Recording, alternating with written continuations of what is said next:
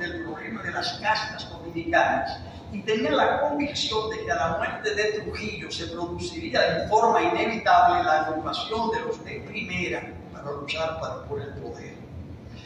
Juan Bosch entiende que a la muerte de Trujillo va a haber una lucha por el poder. Él dice que él había estudiado la correlación de fuerzas, había estudiado lo que él llamaba y siguió llamando después la composición social dominicana.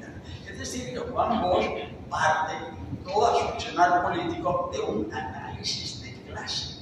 Es decir, para ver cuál era la correlación de fuerzas que se daban entre esas clases, qué clases se iban a enfrentar y qué papel, en consecuencia, él entendía que debía jugar dentro de esa lucha de clases que se iba a desatar de manera acelerada en el país en ese momento.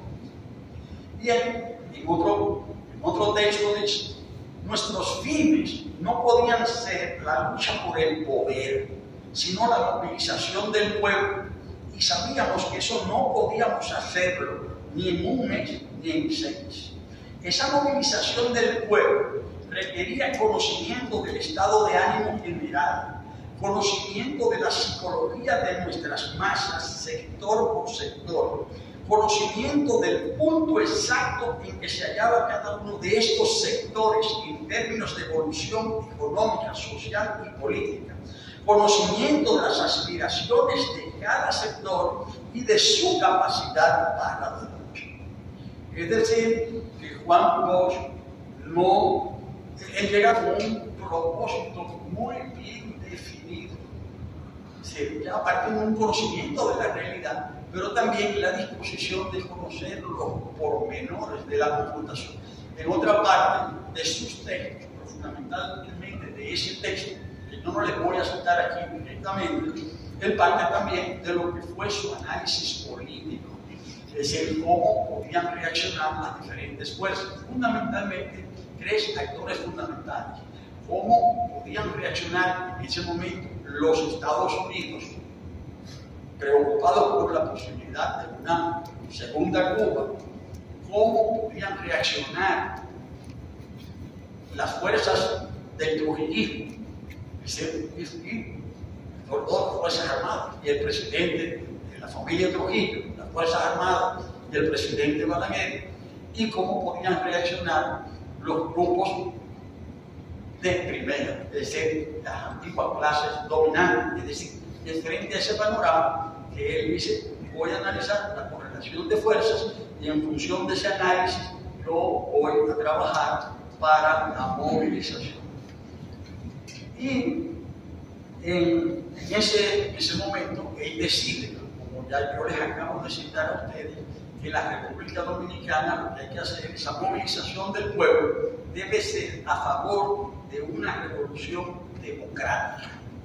Ahora, esa revolución democrática tiene que estar basada en que se pueda establecer una constitución revolucionaria para poder hacer leyes revolucionarias. Incluso implícitamente lo que hay que lograr es una constitución que permita hacer leyes y, que esas leyes y que esas leyes permitan una, una, una transformación. Él incluso él plantea, él plantea lo siguiente. Dice, la constitución es dominicana, como dije muchas veces, la ley de las leyes. Ninguna ley se puede hacer si es contraria a la constitución. La constitución revolucionaria de un país que desea hacer su revolución tiene que permitir leyes revolucionarias. El pueblo votó por nosotros y no porque yo tengo la cabeza blanca y los ojos azules, sino por las ideas del partido que expresábamos todos los días. Esas ideas eran revolucionarias. El voto blanco del pueblo fue el voto por la revolución.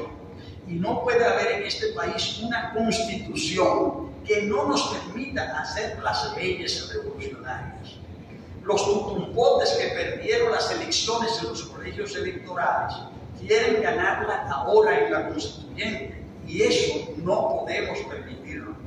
Ellos perdieron las elecciones porque tenían ideas atrasadas. El pueblo votó por la revolución democrática. El pueblo quiere la revolución democrática. El pueblo quiere la revolución que haga progresar a este país en todos los órdenes. Y esa revolución no se le puede dar si no tenemos una constitución revolucionaria. Sin constitución no puede haber revolución. El pueblo entero debe defender la constitución revolucionaria, porque esa constitución tiene que ser el retrato de lo que va a ser la República Dominicana de mañana. Esto nos da una idea entonces de qué es lo que está pensando Bosch. Es decir, Juan Bosch, en primer lugar, se propone movilizar al pueblo, pero con su elección se eligen los constituyentes y Juan Bosch tiene la visión muy clara de que esa constitución tiene que ser una constitución que permita establecer leyes transformadoras, es decir, que permita hacer leyes, leyes revolucionarias. Eso lo plantea en el momento en que está deliberando la, en que está deliberando la constituyente. Ustedes saben que la constitución del 63 fue proclamada el 29 de abril de 1963. Y es en medio de ese contexto que él plantea cuál es el carácter que tiene que tener esa constitución. Es decir, que es una posición muy clara, es decir, que él expresa públicamente. Y eso es lo que nos lleva a nosotros a entender las disputas políticas que están en juego. Porque hay personas que señalan, que, bueno, en el debate político, que Juan Bosch fue muy cuidadoso, que él fue muy moderado.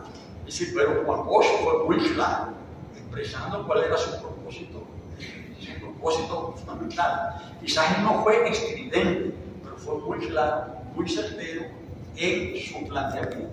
Ahora, esa idea de revolución democrática, él la asocia a la necesidad de